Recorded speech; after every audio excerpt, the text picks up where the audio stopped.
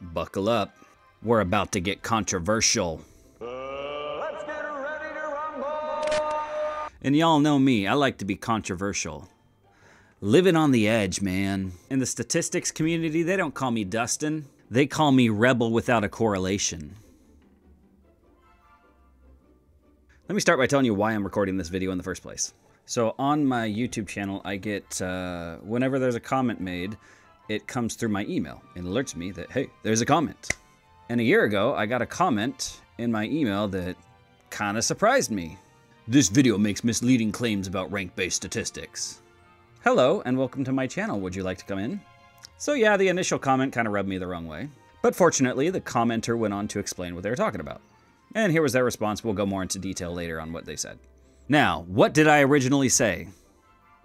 Well, let's take a trip back in time and find out. Now, there are a few things that I just will not talk about, other than right now, in passing, because I think they're super lame. Deal? In biology and medicine, these procedures are extremely popular, and I don't know why. They're useless, in my opinion. You can have like a non-parametric t-test, I think I think that's called a Wilcoxon, and then there's a Spearman rank correlation, and then I have to look these up every time because I never use them. The Kruskal-Wallis and the Mann-Whitney U. So these are all um, non-parametric procedures that you use when you have screwy data. And when I was a biostatistician, I used these all the time because I didn't know any better, but now I know better. So all these are basically just transforming your data into ranks. So it's just sorting the people in terms of highest score to lowest score and then analyzing the sorted data. I, I don't like that idea. Uh, because you have all the disadvantages of transformation, so you lose the original scale of the variable, and you're not actually modeling the data. You're modeling the ranks of the data. You should model the data. If you're if linear models don't fit, then use a different model, folks. So yeah, these other methods are old, outdated, and the only people who use them are doctors and biologists. Yeah, I guess that ends my controversial opinion for today. Although among statisticians, I don't think it's controversial. I think it's just. Wow, that background music is really loud and super distracting. I really wish somebody would have told me that.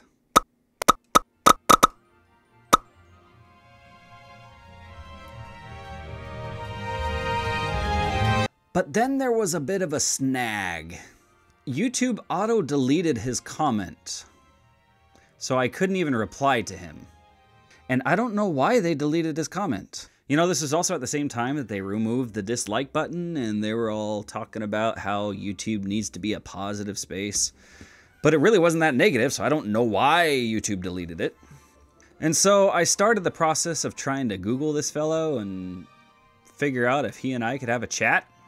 In the process of trying to figure out who this guy is, he leaves another comment linking to a Stack Overflow question.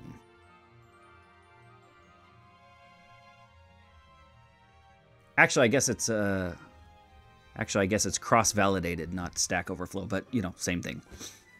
So, yeah. There is a Stack Exchange question about my content. You know, my life's ambition is to have a Wikipedia entry. Then I'll know I've arrived. But a stack exchange question? Yeah, wasn't on my bucket list. And by the way, I've linked that page below so you can see what the discussion was all about. And in there, in response to this question, I said, maybe I'll make another video. Maybe we'll have an open debate on it. So here I am, Galen, I'm responding to the challenge. And let me tell you, I'm not pulling any punches. Gloves are coming off, man. Not really. It turns out I actually really like Galen. He makes lots of useful comments on my videos, so yeah, he's a cool guy. But I'm not gonna let that change the facts. I'm gonna emphatically state my opinion on non-parametric statistics. And I hope to see your response. Before I talk about what Galen said, let me address one other thing. So in that stack exchange, some guy commented on my video and said, What is the merit of a random person's opinion on the internet? Is that person a world leading statistician? yeah, of course. A senior figure in some international statistical association? Well, yeah. I got a participation trophy once. I strongly suspect that someone like Wasserman won't be throwing away all his non parametric statistics books in the recycle bin just yet, and ASA won't stop giving awards non parametric statistics. Won't stop giving awards non parametric statistics. Won't stop giving. Uh, there must be a typo there. In the immediate future. Oh, snap! Boom!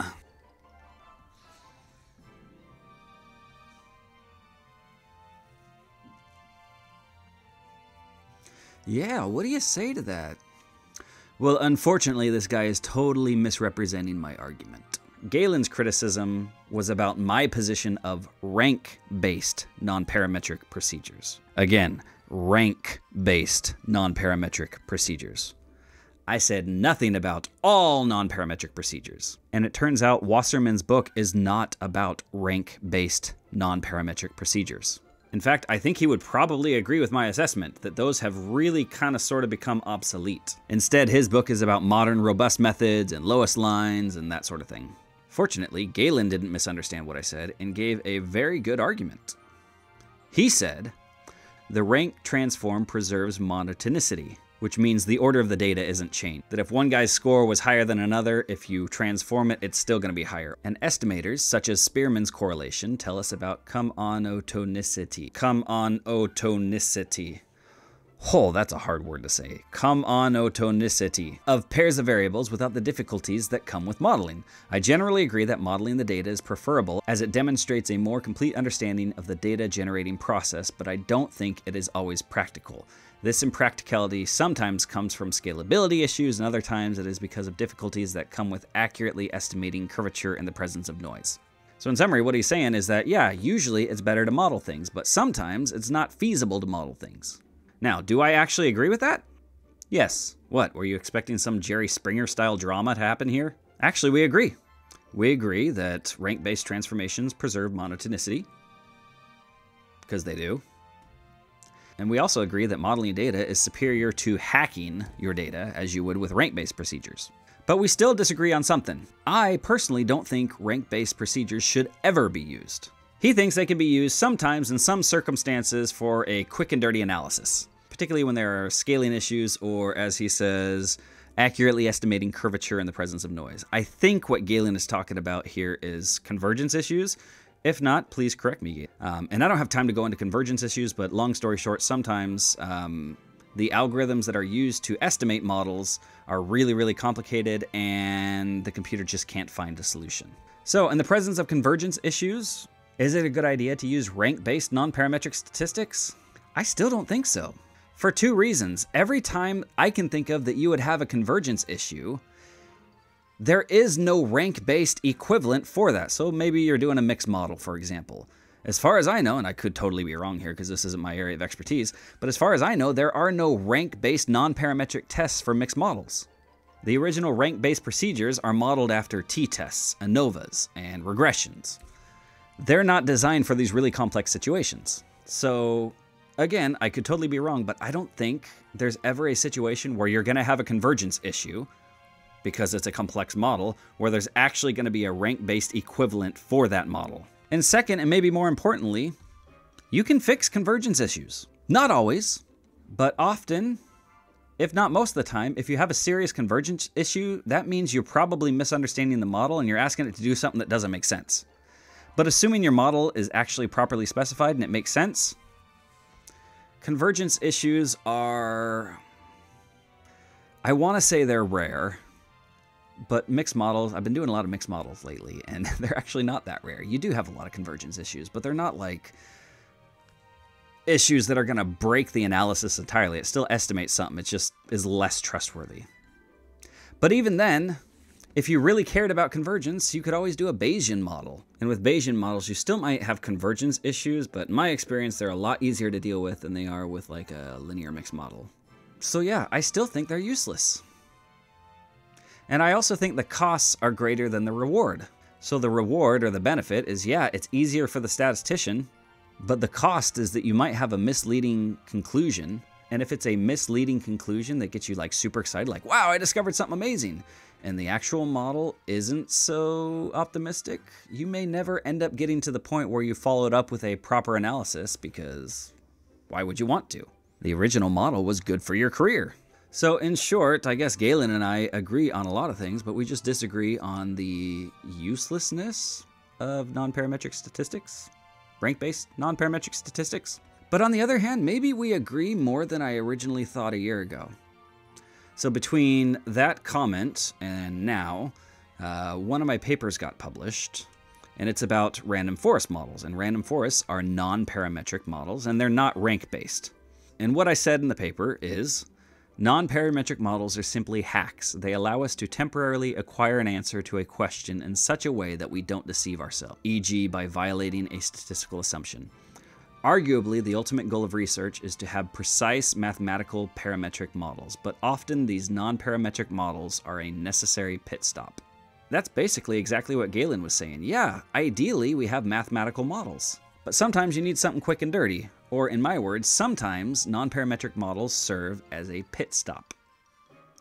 And again, where we differ is I don't think rank based procedures should really ever be used as a pit stop, whereas other non parametric procedures could be used as a pit stop. And I don't know this is, that this is necessary to do right now, but I'm going to go ahead and I mean the thought came to me, so I'm going to talk about it. Um, that quote in the paper is really just like the tip of the iceberg of something that I believe um, as a scientist. And I think there are a lot of scientists who believe this way. Um, my belief is that nature behaves lawfully. Or, in other words, or that's kind of a weird word, lawfully. Nature follows laws. And my belief is that those laws can be expressed mathematically. So I see science as the process of uncovering the mathematical structure of nature. And when we fit a model, we are positing what that mathematical structure might look like. When we use non parametric statistics, it runs counter to that notion. Non parametric statistics don't actually model the mathematical structure of nature. Instead, they modify the nature of your data so that it kind of sort of looks like a mathematical model. So it's just a hack, a temporary solution to get you an answer. And so that's why I see non parametrics at best being a pit stop, and at worst, with rank based procedures, being completely unnecessary and we probably shouldn't do them at all. And by the way, this view that I have that nature is lawful uh, not every scientist agrees with that, and I'll go ahead and leave some links in the description. And that's getting into like the philosophy of science, which I am ill qualified to talk about. But it's also something that I do spend a lot of time thinking about. So let me just summarize my opinion. There is a cost to doing rank based procedures. You lose the interpretability of the estimates, so a slope doesn't mean what it meant before, a Cohen's d doesn't mean what it meant before, and those sorts of things. But more problematic to me is you're not actually modeling the data you're hacking the data to meet the assumptions. So instead, I would rather use non ranked based procedures, such as modern robust methods, or LOESS lines, or random forests, or something like that. And when we use those, we use those as a pit stop toward modeling. So for me, as a statistician, modeling is the ultimate goal. Because again, I believe the world behaves mathematically. And modeling the data rather than modifying the data to meet your assumptions is going to get you much closer to that reality. So, yeah, that's my opinion, and I'm sticking to it. Well, for now. Of course, I'm going to remain open minded. It may be that Galen gives a point that I didn't think about, and I might change my mind on this. And if I do, I'll let you know. So, what do you say, Galen? I look forward to hearing what you have to say, Galen, but also anybody else. I'm happy to hear your thoughts. See what your opinions are on rank based non parametric procedures. So, yeah, that's all I got to say. Peace out.